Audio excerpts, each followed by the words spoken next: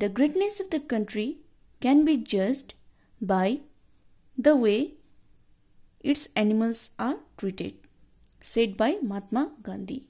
Students, when you hear this line, what are the different questions that arose in your mind? Why the animals has to be treated or how they have to be treated? Or what are its contributions to make a country great? Or what might happen if they are not taken care or given proper protection? Are we dependent on animals? Or they are dependent on us? Various questions arises in our mind. To explore such questions, today we will start the topic animal husbandry. It is the subtopic of chapter Improvement in Food Resources in your biology. Before proceeding further, I would like to make you clear about what you mean by animal husbandry. It is the branch of agriculture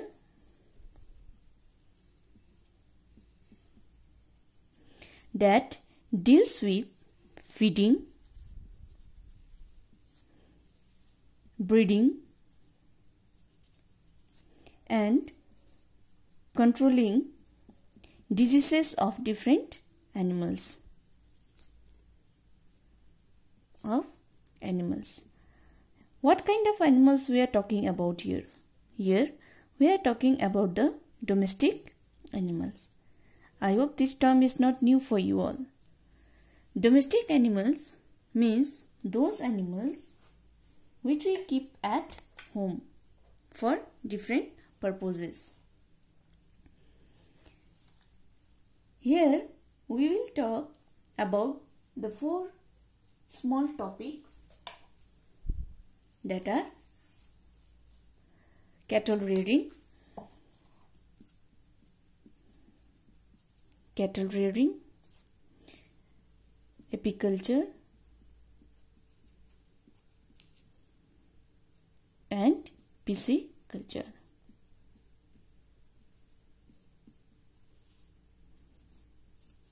and one more topic we'll be discussing here that is your poultry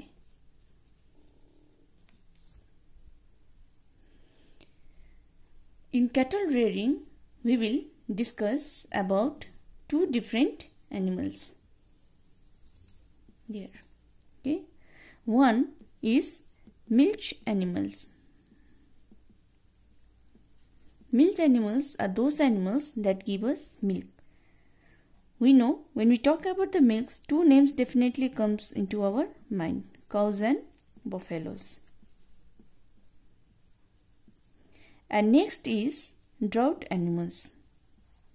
Drought animals means those animals which helps in making our work easy by doing works like tilling,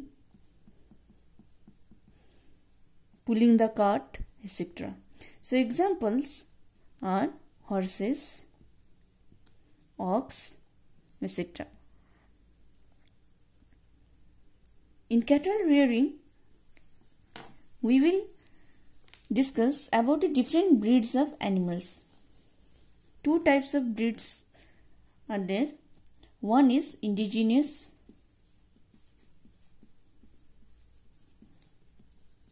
and another one is your exotic. Indigenous means Indian breed.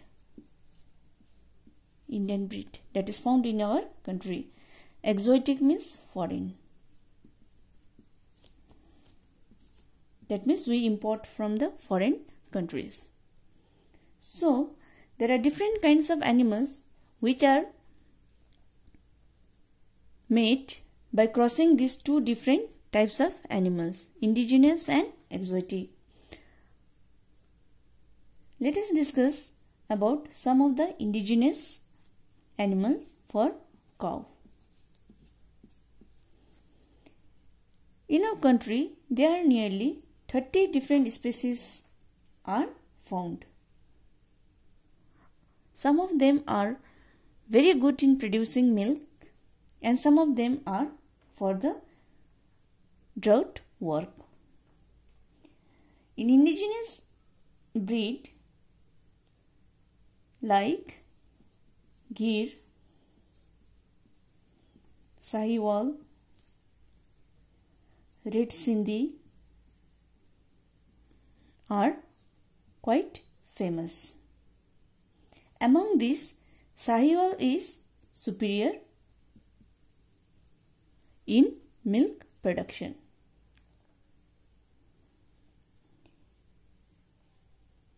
And in exotic, in exotic breed, they are Holstein,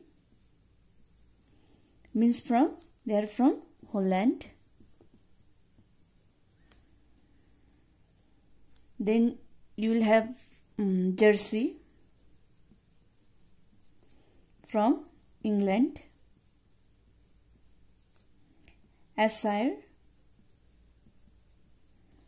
from Scotland, Brown Swiss from Switzerland. There are many others which are very helpful in increasing the food production. And when we cross between these two, indigenous and exotic, we get new breed. For example, Karan Swiss, Karan Fries. These are the hybrid cow that we get in different places. They are also responsible for producing milk and for other purposes. Karan Fries gives about 3500 liters of milk during lactation period. Now, what do you mean by lactation period? It is the period after giving birth to the calf that gives milk. Lactation period. And to get good production, we should give proper shelter to them. So let us see what are the different characteristics of a shelter. What kind of shelter is to be given?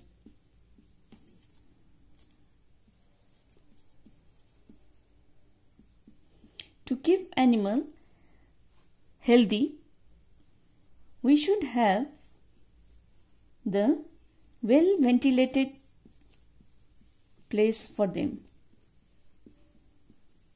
The place where we are keeping the animals, it should be well ventilated. There should be the free movement of air.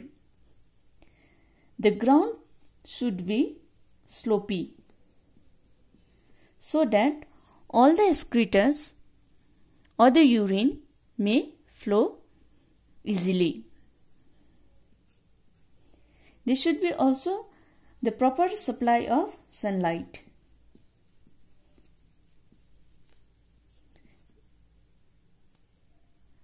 Supplement of clean drinking water. Clean drinking water. The room should also be spacious so that they can be a easy movement. And the animals should be regularly brushed. Why they should be regularly brushed? To keep them away from the dirts or small insects that may be harmful to them.